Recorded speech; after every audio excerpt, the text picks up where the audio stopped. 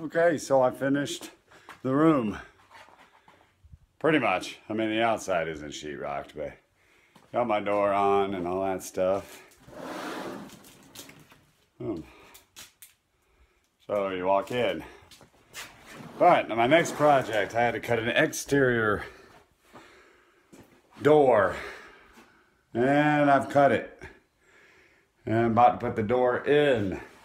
But other than that, the room is coming along.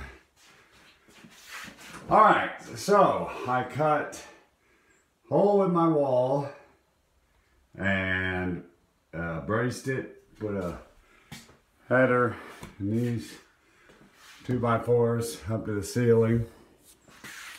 Had to cut out floorboard existing and all this looks simple in all these YouTube videos you watch. Yeah, screw that.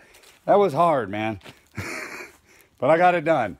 So uh, there you go. That's going to be my door to my commissary kitchen for the health department to run Gonzo.